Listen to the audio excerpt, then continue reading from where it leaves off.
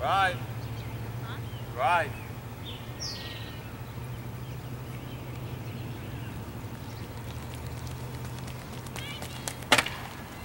Oh no, stay on the pole and work.